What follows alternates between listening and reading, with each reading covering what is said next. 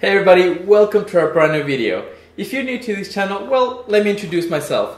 My name is Jeff and I make a lot of very simple and delicious recipes. So stay tuned because definitely today is no exception.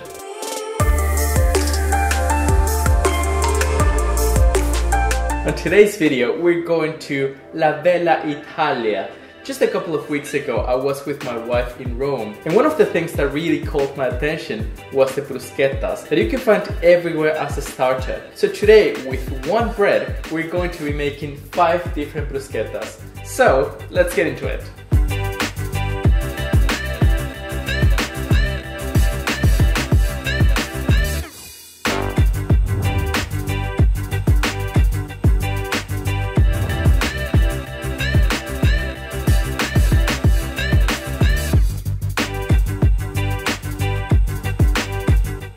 Going to start with the classic bruschetta, and that is just going to be very, very basic. Oh, there you go. that is going to be tomatoes, some basil, some garlic, some olive oil, and some vinegar. I'm just gonna give these bad boys a quick wash, and that's it. Let me remove the stem real quick, because you don't want to eat that, do you? Alright, so I'm just going to remove this part right here from the beginning go in half and then I'm just going to try to remove all the seeds. I just let my my knife go through and be careful not to cut yourself. You don't want these seeds because those are going to there's a lot of liquid in there. And the liquid is going to make your bruschetta just saggy. I'm just going to chop them very roughly because even as far as I know in certain parts of Italy they even just like cook the, the, the, tomato and then they just squash them in their hands and that's pretty much how they eat them. Once you remove the seeds this is going to be as you can see it's not that liquidy you know and that is so important for this because you don't want a smoosh. I'm going in with my tomato. Now it's time for my gorgeous basil.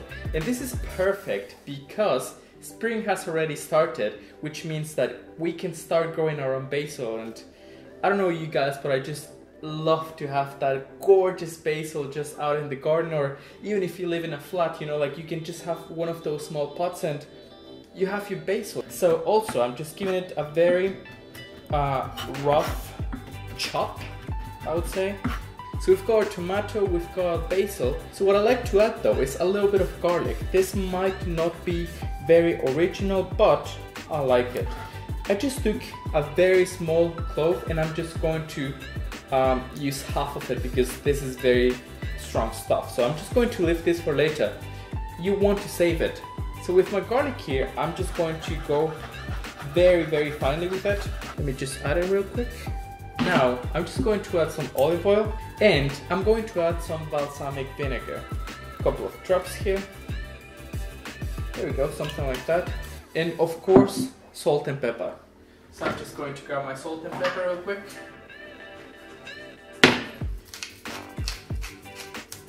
A little bit of pepper. A little bit of salt.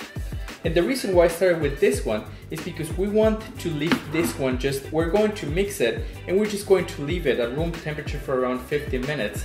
And that is going to make all the flavors combine with each other and that's going to make it even better. So let's just lift this one here and let's go to the second one. Alright, so for our second bruschetta, we're going to be making caramelized onion with mushrooms. So I just need to grab a pan, just a regular pan, I'm going to put it on, I would say like medium heat. I'm going to add a little bit of olive oil. And now I'm just going to grab my spring onions, remove the part that I want. Let's get rid of this. So we're going in with our onion. Now that our onions are in, I'm just going to turn the heat up to about I would say like medium slash high heat and I'm going to grab my my beautiful mushrooms and start chopping them.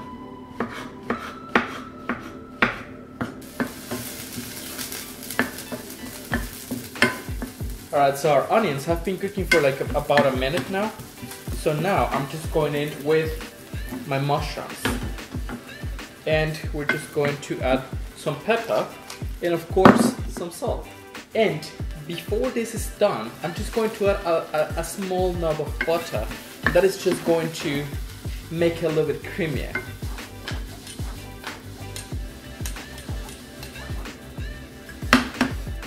So we're just going to let this cook for like, I would say like between three and four minutes, maybe a little bit longer, until you see that our mushrooms are well cooked. Alright you guys, so our second bruschetta is ready and it looks and it smells just mmm delicious. So now what we're going to do is with the same pan, I'm just going to put it on high heat. I'm just going to grab my olive oil and I'm just going to add a little bit more. And now it's time to make our artichoke and garlic bruschetta. So I've got my artichokes already here, ready to go. They're already a little bit dry, which is perfect. So what I'm going to do right now is I'm going to grab my uh, garlic. I'm just going to give it a quick, something like that. And there we go. That's all I need to do. Now, my oil is hot. All I'm going to do is remove this from the heat and I'm just going to go through with my oil. And this is going to make your oil so aromatic and so full of flavor and fragrances. It's just it's a it's a very simple thing to do, but it's a very powerful way to add flavor to our oil. Alright, so just try to do this for a couple of seconds. In my case, this is perfect. So I'm just going to remove the garlic. Now, ah, my oil is smelling terrific. I'm just going to grab our gorgeous artichokes. Grab like this. And there we go. And the rest one you can just chop a little bit. So once this is cooked, we're going to add our chives and some Parmesan cheese. We want this to be a little bit brown, right? So it is very important. In my case, I bought some artichokes from the tin, so they're already cooked. If you want to start from, from scratch, you can just check on Google how to cook properly an artichoke because there's a little bit of an art involved when doing this. Not that complicated, but it's a little bit time consuming. This is pretty much what we're looking for, right? Uh, it doesn't, there we go. So as you can see, for example, here, you can you can see some browning going on and that's what we want right? And now it's time to add a little bit of parmesan cheese. And I'm just gonna grab and try to take flakes out of it. Something like this. And we don't want too much because this is going to overpower everything. Just a couple of drips of vinegar. That's it that is absolutely it this is ready I'm just going to turn this off and time to go with the next bruschetta. Alright guys, so now we've got three already done. For the last two, there's really no cooking involved. So all I'm gonna do is grab my gorgeous bread and I'm just going to cut it around an inch. We're going to start with prosciutto mozzarella. So for that one, I'm just going to, I've got some chopped mozzarella and some prosciutto. So all I have to do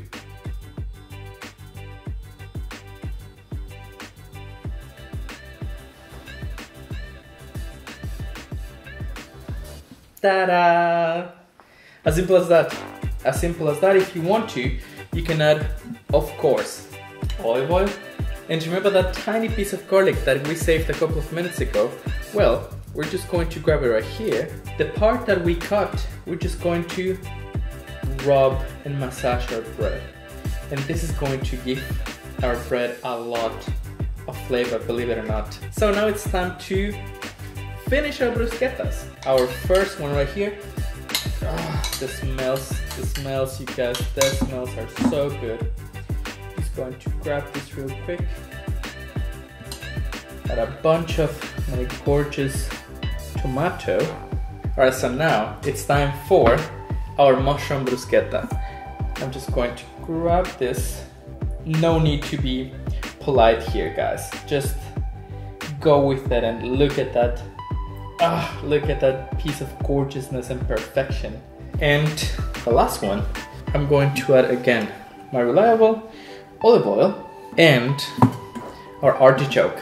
So I'm just going to put it like so. Alright, so now I'm just going to grab my chives and I'm just going to chop some of them very finely.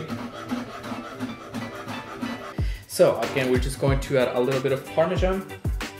Alright guys, so there you have it. It was so simple and with just a gorgeous piece of bread, we created five gorgeous bruschettas. And just to summarize, this one is mozzarella with prosciutto, this one is artichoke with spring onion and parmesan cheese, this one is one of my favorite and it's literally just olive oil and garlic. This one, this beauty right here, is mushrooms and spring onions and of course your regular tomato bruschetta.